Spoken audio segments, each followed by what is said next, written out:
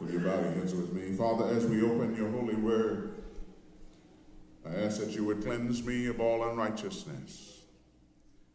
Fill my life with your Holy Spirit's presence and power. Speak to me, through me, and for me. I promise you, Lord, I'll always give you the honor, the glory, and the praise. In Jesus' name I pray. Amen. If you have your Bibles with you, turn with me to the book of Galatians, chapter 2, verse 20. The book of Galatians, chapter 2, verse 20. It is one of the most pivotal verses of Scripture in all of the Bible. I am crucified with Christ.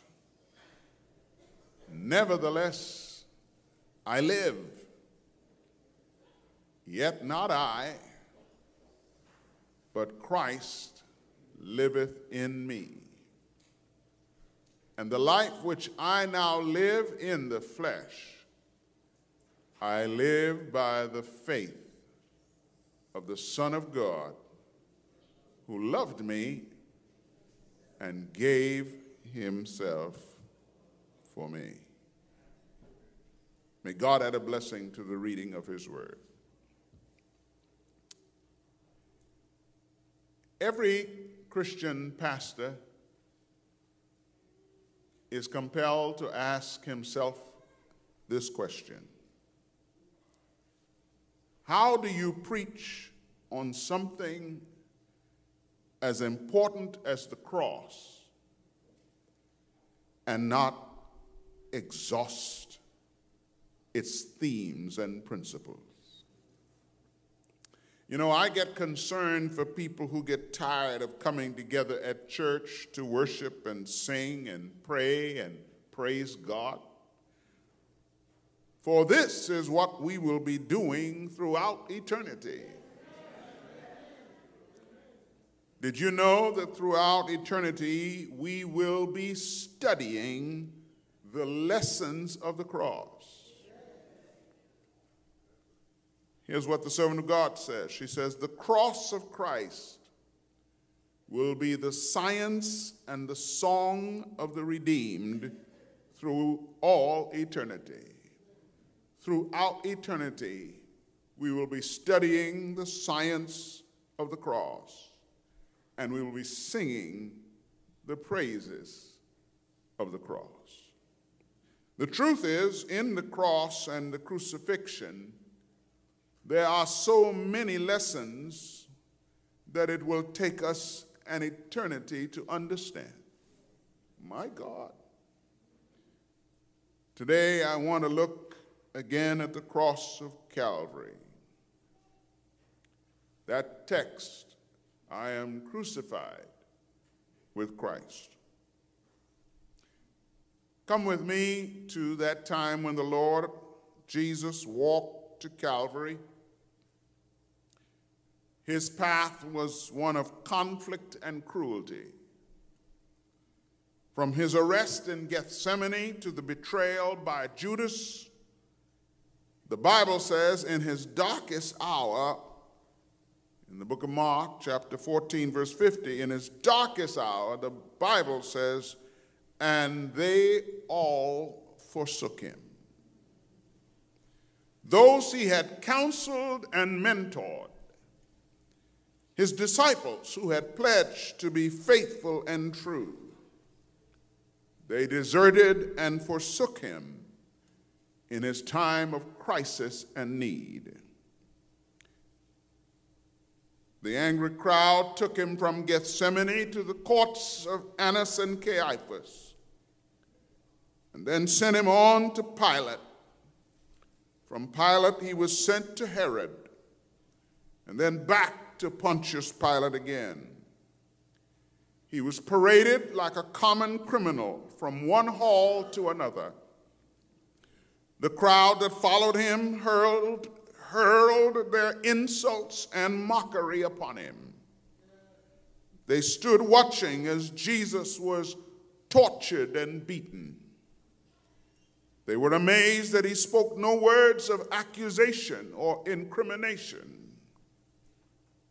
The old Negro spiritual says, When they crucified my Lord, he never said a mumbling word. With epitaphs being hurled against him, still he carried himself with firmness and dignity. After being beaten for a second time, he was taken again back to Pilate.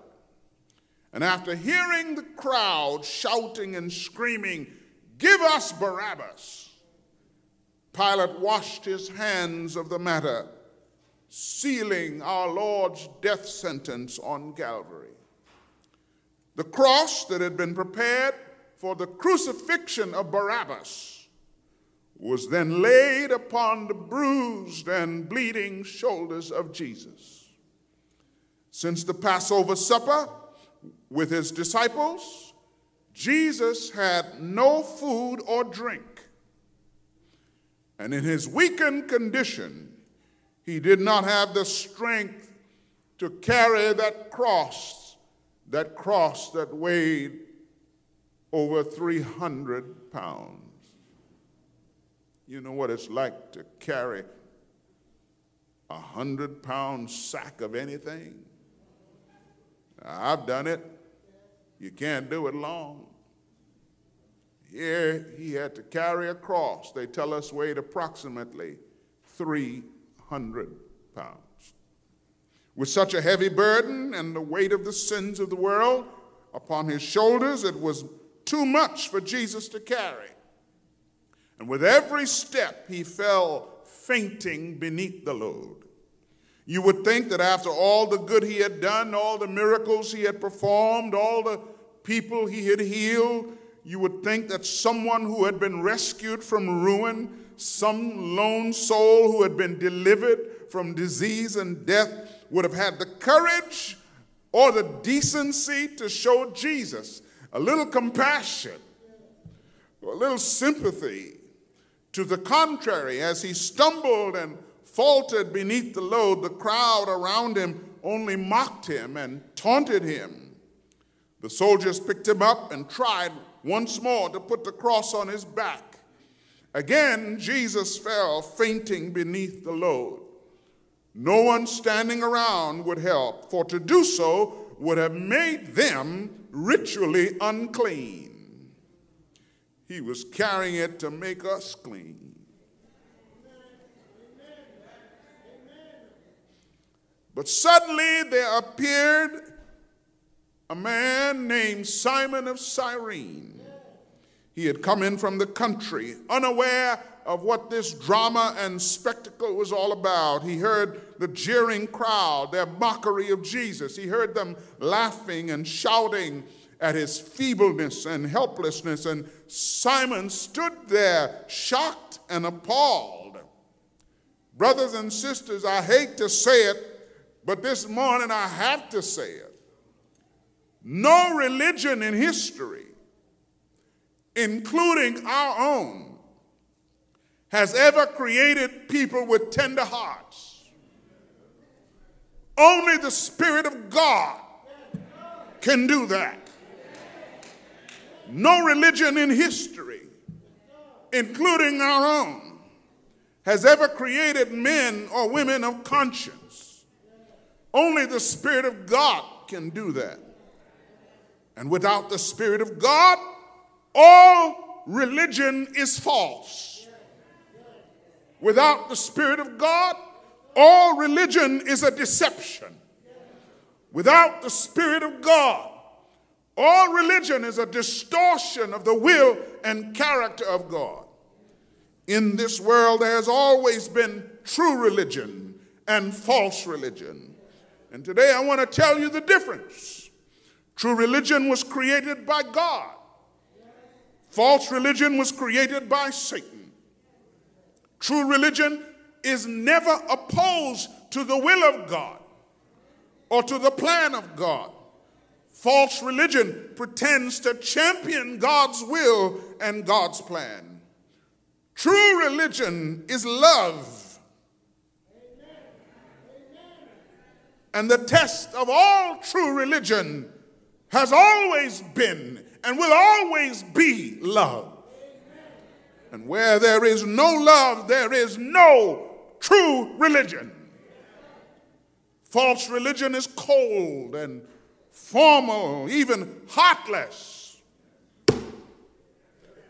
False religion is to be dreaded and never trusted. The servant of the Lord said, There is no Savior in false religion. True religion is a practical, personal experience of God's renewing power within the soul. True religion is the implanting of Christ's nature in our human nature. True religion is Christ dwelling in the life as a living, active principle. True religion is the grace of Christ revealed in the character. True religion is the grace of Christ revealed in your character and in my character. Jesus Christ is the center of all true religion. False religion is a gigantic masterpiece of satanic power. And Satan uses false religion to rule the earth according to his will. False religion is a dangerous, worthless religion. The true religion wants to learn the will of God and watch for the leadings of the Spirit of God. For too many people who come to church week after week don't realize they are adherents of false religion. False religion is lacking in vital godliness. True religion is imitating the character of Christ. That's true religion. True religion is powerful. It is the exercise of pity and sympathy and love in the world, in the home, in the church. False religion is powerless. True religion is obedience to every word that proceedeth out of the mouth of God. Throughout the history of the world, I hate to say it, but I got to say it we have seldom seen true religion. Look at what James 1:27 says, pure religion. James 1 chapter 1 verse 27, pure religion. Pure religion. Undefiled religion before God and the Father is this to do what? To visit the fatherless and widows in their affliction, and to keep yourself unspotted from the world. I got to tell you, I'm saddened to tell you that in this nation of ours today, much of what we call Christian is false religion.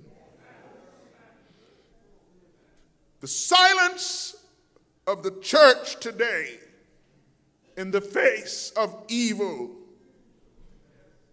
is a false religion. Here, Simon sees the crowd shouting and laughing at Jesus, and Simon stops. True religion stands with those who are powerless. True religion stands with those who are powerless. True religion has compassion for the helpless and the immigrant.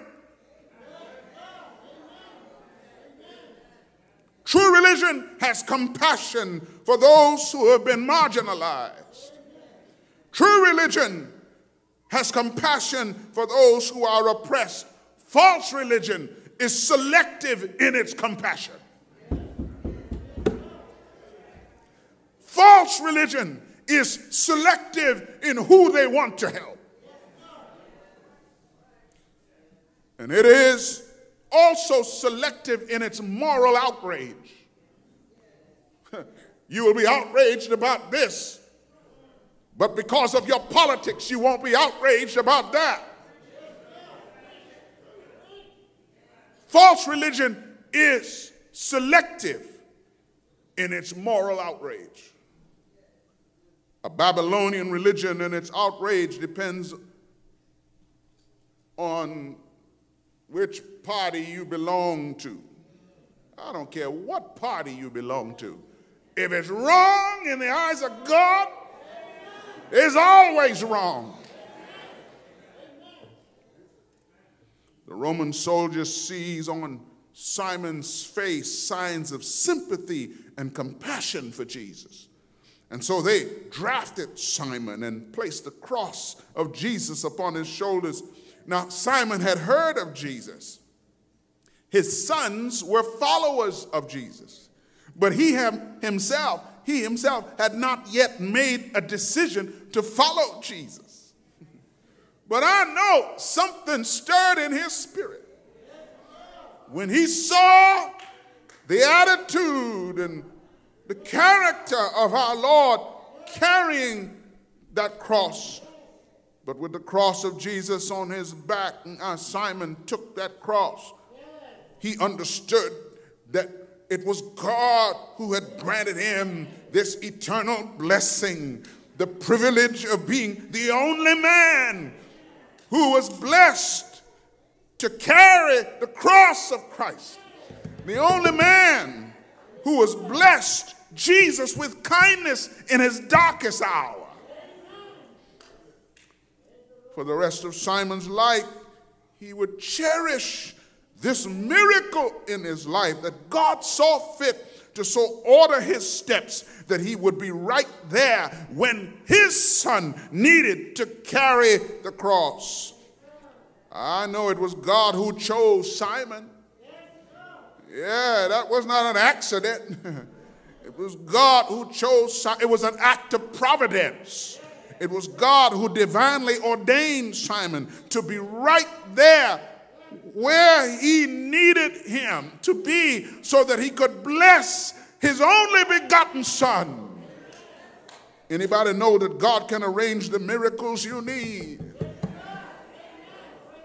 to arrive when you need them? I've seen God work miracles in my own life. There have been days when the burdens got heavy in my own life, and, and, and have, maybe you'll understand what I'm about to say. Some people, when things get rough, they cry themselves to sleep. Uh, when things get rough, I pray myself to sleep. Oh, yes. I call on God until I, I go into slumber, asking God for faith and strength to carry the burdens that have been laid at my door. And I can tell you that God in His mercy and God in His grace has always sent a Simon. He's always sent someone along to bless me and help me and carry the load and the burdens that I have to bear. When they reached the crest of Calvary's Hill, they tied Jesus to the cross. Someone said they stretched him wide. And then they brought out the hammer and the nails. And as the nails were driven through his flesh, Mary, his mother, fainted with grief.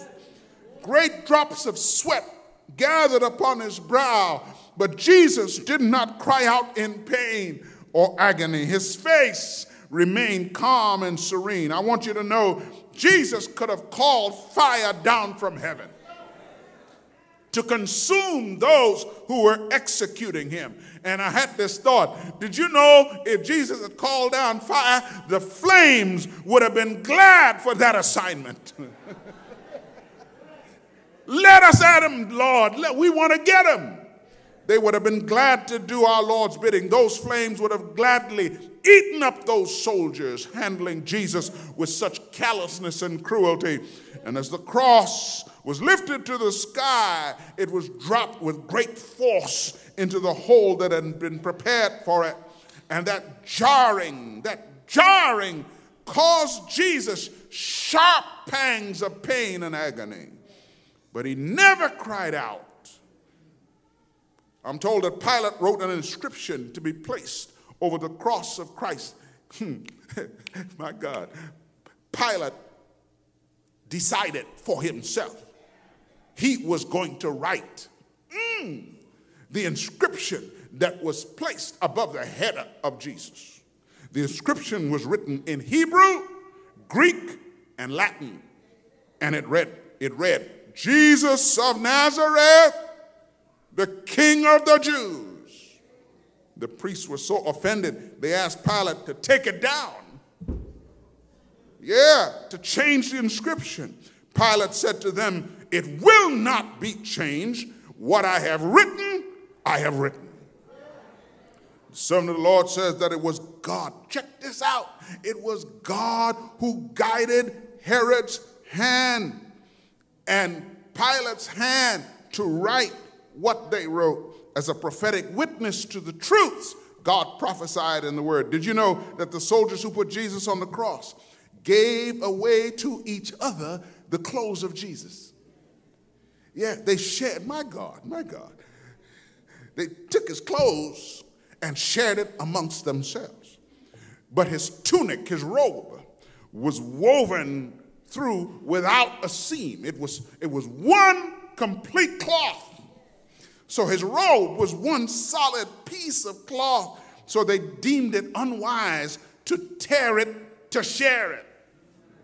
So that's why they gambled and cast lots because it was so beautiful, they didn't want to tear it. All this was going on while Christ was being crucified. Church, crucifixion was a punishment set aside only for the worst of criminals. It was a horrible way to die. Sometimes the agony for the one being crucified lasted for days. Those who were crucified on the cross were allowed to have a concoction to drink to deaden the pain. But when this was offered to Jesus, he tasted it, knew as soon as it hit his lips, he knew that it was mind altering. Yeah, some of us know the first moment you put that vodka, that something to your lips, your brain tells you, whoa, this is mind altering. And Jesus, when he knew it was mind altering, he refused it. And people always ask me, what's wrong with wine? And wine, it's, if it's mind altering, refuse it. God the Father was to be his only source of strength. The one being crucified did not die from the wounds in their hands or in their ankles. What happened was the blood in the head and in the upper body was forced down into the lower body until the person lost consciousness. And there on that cross, as Jesus hung there dying, the priests, rulers, scribes joined in with the mob who mocked him as he died. And that day on that hill called Golgotha, Jesus was alone as he suffered on Calvary. Even his father was silent. The people shouted, If thou be the Son of God, come down from the cross. If you be the Christ, save yourself. Well, that day, watching Jesus dying on the cross was not only the jeering mob, the servant of the Lord says, Satan and his angels were at the cross in human form. They too were present at the cross. And let's be clear, they wanted to be sure that he died. Christ could have come down from the cross, but that act of self preservation would have destroyed the plan of salvation. Oh, don't ever forget I just said that with you that act of self preservation would have destroyed the plan of salvation. If he had come down from the cross, Jesus knew if he did, you and I would be lost forever, lost without the hope of redemption and restoration. And in that dreadful hour, Christ, the Prince of sufferers, would have to tread the winepress alone. And at the ninth hour, the Bible says he cried out with a loud voice, Eloi, Eloi, lama sabachthani. Father, Father, why hast thou forsaken me? And all that Jesus endured, church, the, the blood drops that flowed from his head, his pierced hands and feet, all the agony that racked his frame, the unalterable anguish that filled his soul at the hiding of its father's face, reminds us of all that Christ endured to open to us the gates of paradise. When Jesus said, It is finished, Father, into thy hands I commend my spirit. Right then, a bright light, check this out, surrounded the cross. And the face of Jesus began shining with the brightness of the noonday sun. Now, you got to understand that when he said, It is finished, a dense darkness covered the earth, but his face was shining like the sun. And then there was a hoarse rumbling like heavy thunder. There was a violent earthquake, and mountains and rocks and boulders were torn like a magistrate tears a guilty verdict up. Tombs were opened, souls who had died were brought forth from the graves as first fruits of the resurrection. The priests and rulers and soldiers, executioners, all of them, they, I love this, they stretched themselves out on the ground in fear and terror. But thank God in the death and crucifixion of Christ, eternal redemption has been secured for all who believe and all who surrender and accept God's plan of redemption and restoration. Never forget that the plan of salvation is both redemption and what? Restoration. The plan of salvation is both redemption and restoration. We have been redeemed, but we are to be restored. Redemption is when you buy back what was already yours in the first place. Restoration, on the other hand, is a lifelong process of conforming and aligning your will and nature and choices and character with the loving character of God. Now, looking at the path and process of crucifixion, we strain our hearts and minds to understand our scripture this morning. What did Paul mean when he said in Galatians 2:20, "I am crucified with Christ. Nevertheless, I live, yet not I, but Christ liveth in me, and the life which I now live in the flesh, I live by the faith of the Son of God who loved me and gave himself for me. Paul here is saying, I too choose the path of crucifixion. I am crucified with Christ. I too choose the path of crucifixion, but it's not the crucifixion on a Roman cross. Paul is saying, I choose to die daily to my selfish human nature. It is not a physical death, it's a daily dying to my carnal nature. But a strange thing, strange thing said Paul, even though I die daily, I've never felt more alive. Yet I live because as I die, Christ lives in me. And I want you to know this simple truth of Christ living in us is what these emblems are about. The more we understand it, the more it opens to us a vault of spiritual understanding that changes the way we think and live forever. Christ lives in me. Sinful me, erring me, corrupt me. He lives. He lives in me. How can I understand this simple truth? Living in me. This formative, I call it a, a formative truth, a normative truth. It is the path to redemption and restoration. It is the truth that reminds us what a true Christian is Christ lives in me. A true Christian is one who is crucified with Christ and has Christ living within. A true Christian is one in whom Christ is alive and Christ is living. Here, Paul is telling us that before Christ li- can live in us, the first thing he says is, I am what? Crucified before he can live in you. There must be a commitment to daily, lifelong crucifixion of self, a crucifixion of my carnal habits. Let them die for heaven's sakes. Crucify them. A crucifixion of my proclivities. Jesus. A crucifixion of my preferences. A crucifixion of my awkward, wayward personality. Some of us have not only an awkward personality, we have a wayward personality.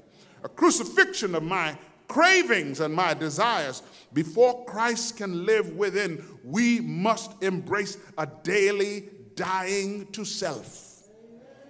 A daily crucifixion of self before Christ can live in us. Because uh, we are selfish, we are self centered, we are self absorbed. You see, brothers and sisters, for Christ to live within, self must die. oh my God, help me to make this clear. This is true of every soul. In every human soul, one must die, and one will die. In every human soul, one will be crucified, either self or Jesus. That's why Paul says, I am crucified with Christ. For only when self dies can Christ live. Only when self is crucified can the presence of Christ dwell in us. So, what does Paul mean here when he says, Christ liveth in me? Is it the physical Christ? Then, what does it mean? Before I leave you, I want, I want you to understand what it means to have Jesus living in you.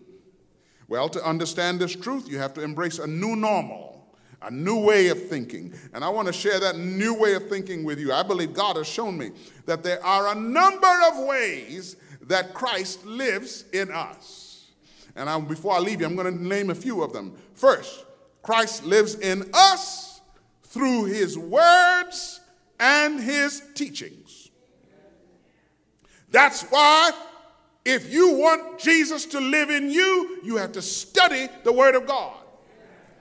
For in the beginning was the Word, and the Word was God, and the Word was. That's why we need to study the Word. The Word was with God, the Word was God, the same was in the beginning with God. To bring Christ into our being we must have a reverence for the study of the Word of God. When you memorize those scriptures, you are allowing the Word, who is Jesus, to live in you. For Christ to live in us, we must take the Word of God for ourselves when in our Christian experience, the Word of God becomes our meat and our drink, when we behold Him, when we receive Him, day by day we learn to reveal the principles in the Word of God. Oh, I'm talking about how Christ lives in you. So, brothers and sisters, Christ, when you choose to let His words and teachings become the overriding, guiding principles in your life, Christ is living in you. Somebody say amen. Say, Pastor, I never understood that. I never understood that. That when I study the Word of God and when I embrace it and when I live it, Jesus is living in me. When the dominant, overruling motive For every word you speak and every thought you think are the words and teachings of Jesus, then Christ is living in you. Uh, you're going to stay with me before I close today. Christ lives in us when we allow his words and teachings to become the dominant prevailing force in our lives. Amen? The second way Christ lives in us is when we allow the heart of Jesus to dwell in us.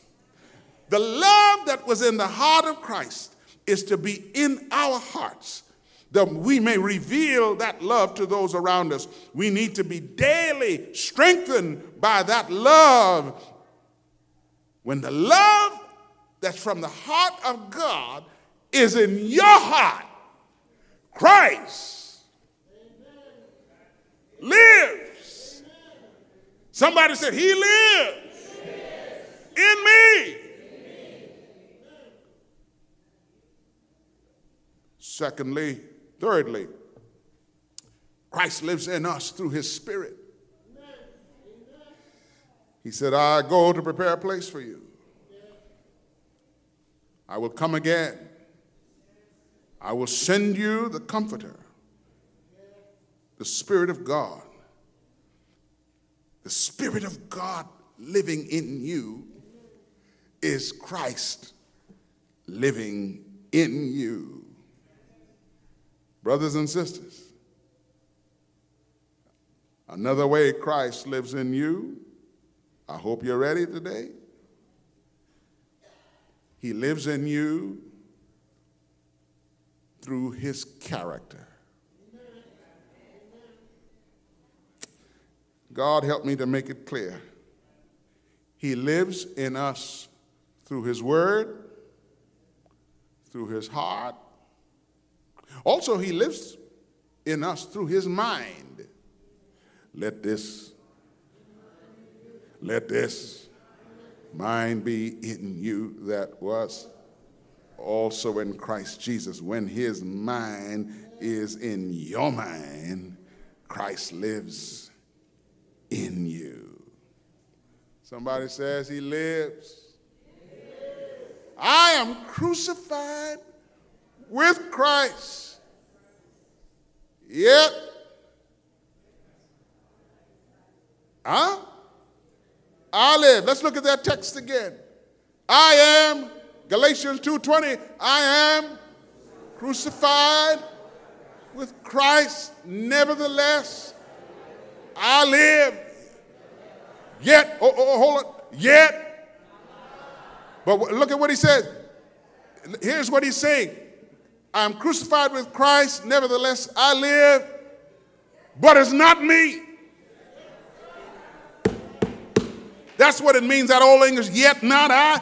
And all it's saying is, it's not me, but Christ living in me.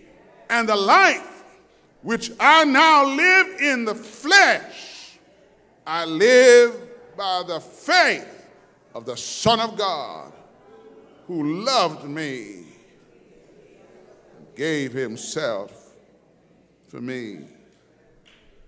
And when we partake of these emblems,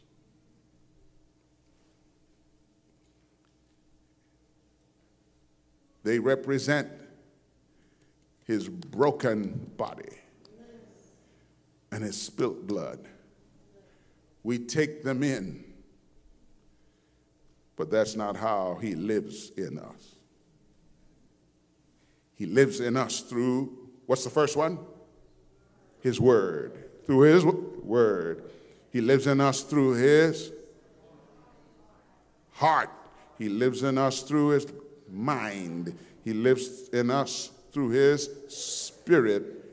And he lives in us through his character.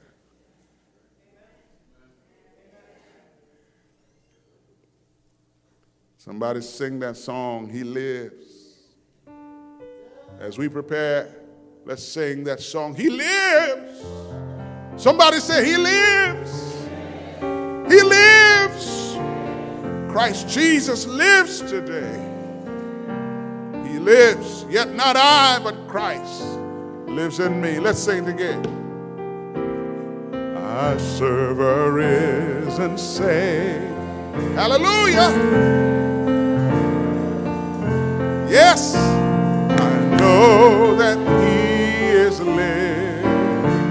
Whatever